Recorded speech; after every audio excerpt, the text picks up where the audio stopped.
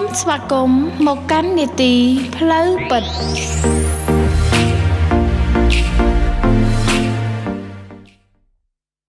សូមគោរពនឹងជំរាបសួរទៅដល់ប្រិយមិត្តដែលកំពុងតាមដានស្ដាប់វិទ្យុគ្រួសារ FM 95.5ជាទីមេត្រីខណៈពេលនេះផងដែរនីតិផ្លូវពិតបានធ្វើត្រឡប់ជួបជាមួយនឹងប្រិយមិត្តសាច់ថ្មីម្ដងទៀតដែលនៅថ្ងៃនេះខ្ញុំបាទនឹងលើកវិធានបទថ្មីដែលតាក់ទងជាមួយនឹងមូលហេតុដែលយើងគួរតែផ្អាកការប្រជុំគ្នានៅព្រះវិហារមួយរយៈ ចង់ដឹងថាតើតបទនេះមានន័យយ៉ាងណាសូមស្ដាប់ជាមួយនឹងខ្ញុំបាទចន្ទថាដូចតទៅហេតុអ្វីបានជាគ្រឹះបរិស័ទគួរតែផ្អាកការប្រជុំគ្នានៅព្រះវិហារក្នុងអំឡុងពេលនៃការរាលដាលនៃមេរោគ COVID-19 ទូទាំងពិភពលោកតើដោយសារតែយើងខ្វះការទុកចិត្តលើការការពាររបស់ប្រជាម្ចាស់ឬនៅក្នុងបទគម្ពីរទំនុកដំកើងជំពូកទី51ខទី5រហូតដល់6តើប្រជាម្ចាស់បានសន្យាទេឬថាទ្រង់នឹងការពារយើង បានជាយើងមិនត្រូវភ័យខ្លាចអ្វីឡើយ ទោះទាំងសេចក្តីស្ងាញ់ខ្លាចនៅពេលយប់ឬសេចក្តីហិនវិនាសដែលបំផ្លាញនៅពេលថ្ងៃត្រង់ផងសប្តាហ៍ថ្ងៃនេះមានពួកជំនុំកាន់តែច្រើនឡើងច្រើនឡើងបានផ្អាកកម្មវិធីការថ្វាយបង្គំនៃព្រះវិហារឬការផ្អាកជួបជុំដទៃទៀតដើម្បីជៀសវាងការរីករាលដាលនៃមេរោគ COVID-19 ផ្ទុយទៅវិញព្រះវិហារជាច្រើនបានចាប់ផ្ដើមធ្វើការផ្សាយផ្ទាល់នៅកម្មវិធីថ្វាយបង្គំតាមអនឡាញតាម Facebook ឬក៏មាន link ទៅកាន់ website របស់ខ្លួនដើម្បីផ្ដល់ឲ្យសមាជិកពួកជំនុំ នៅការលើកទឹកចិត្តការប្រស័យតាក់ទងគ្នានិងព្រះបន្ទូលព្រះ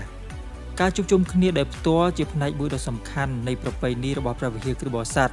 យើងជួបជុំគ្នាដើម្បីការប្រកបគ្នា ការប្រារព្ធពិធីលៀងព្រះអម្ចាស់ការអធិដ្ឋាន ការថ្វាយបង្គំនិងការកែតម្រង់សូម្បីតែនៅក្នុងពេលដែលមានការបៀតបៀនខ្លាំងបំផុតក៏ពួកជំនុំសម័យដើមនៅតែព្យាយាមជុំគ្នា ជាសម្ងាត់ទោះមានគ្រោះថ្នាក់ក៏ដោយ ដូច្នេះហេតុអ្វីបានជាយើងគួរតែបាក់ការជួបជុំគ្នាដែលផ្ទាល់ដូចមុនទៀតហេតុអ្វីបានជាយើងគួរតែលុបចោលកម្មវិធីជួបជុំផ្សេងផ្សេងទី1វាមិនមែនមានន័យថាយើងខ្វះជំនឿនោះទេពេលដែលយើងបាក់ការជួបជុំគ្នានៅព្រះវិហារផ្ទុយទៅវិញវាមានន័យថាយើងកំពុងតែមានជំនឿលើព្រះដែលបានបង្កើតមនុស្សឲ្យមានហេតុផល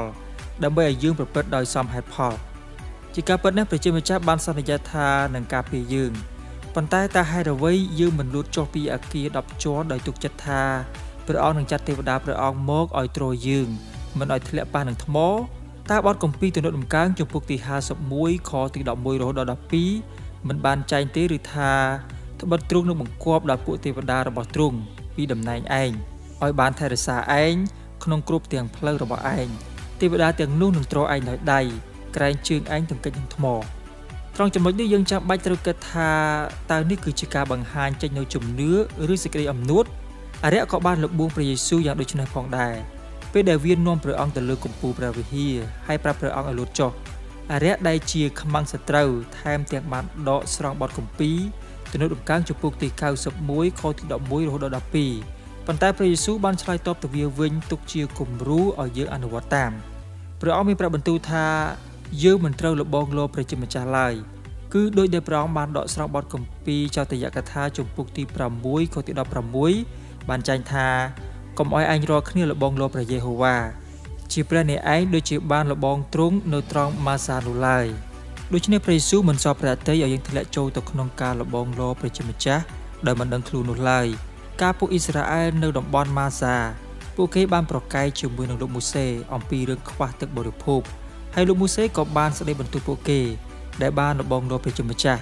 ដោយការមិនស្ដាប់បង្គាប់និងការខ្វះជំនឿហេតុនេះហើយពួកអ្នកដែលនៅក្នុងចំណោមលោកមូសេមិនបានឃើញទឹកដីសន្យាឡើយប៉ុន្តែត្រូវបានប្រជាម្ចាស់ដាក់ទោសឲ្យរស់នៅវល់វល់ក្នុងវីរហោស្ថានអស់រយៈពេល40ឆ្នាំរហូតដល់ពេលដែលពួកគេស្លាប់អស់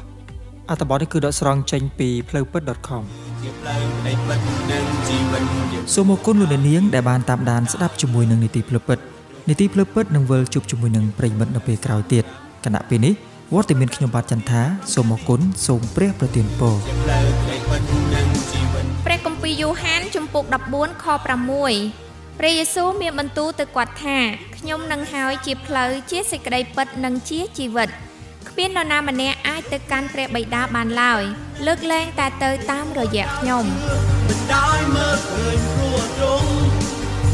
ยังรวนเดินสำราญรว